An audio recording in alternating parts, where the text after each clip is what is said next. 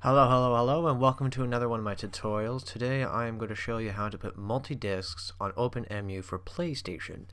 Uh, a lot of people have been getting this wrong lately. I actually talked to the guy about the issue. He just said just read the guide, and that's what we're going to show you, how to actually do this properly.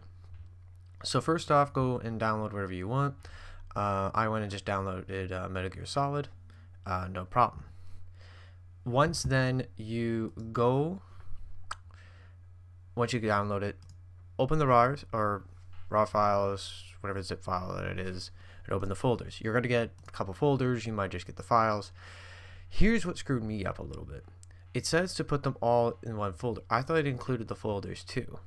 Um, this is not the case. You need to put all the files that are in the folders into another folder um, so if we go to Metal Gear Solid here, we need to move them over. So we, let's open the first one, move them, done. And then two, done. And then just get rid of the folders. Clean up by name. That's what I like it. Now, you need to make a um, uh, a uh, like a text make like an M3U file. I'm letting you know right now, do not drag any of the cue files into OpenEmu whatsoever. Do not preload them. Don't throw them in at all. If you have, just delete them. Delete them right now. Then it's all done. So we're going to go to TextMate. Simply drop the cue files in. So that's the second one. Sorry, clean up. I don't like my stuff like that. So this is the first one and that's the second one. Do them in order. It's probably going to be a lot easier. Now you just need to get rid of certain information. So we're going to get rid of all that.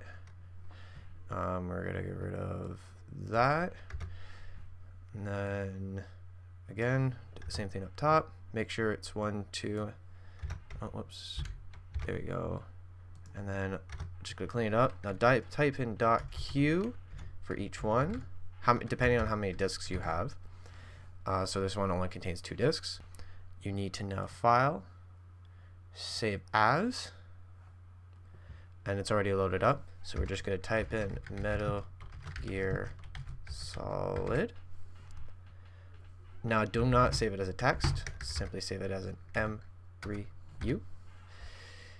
Save. There it is.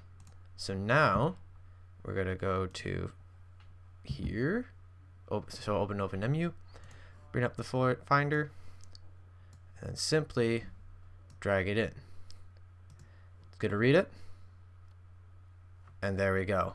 Metal Gear Solid is now playable. It should be, so we're going to open it up. And look at that. So there you go. This is how you do it properly. Anyways, that's how you fix it. Alright? Take care, guys.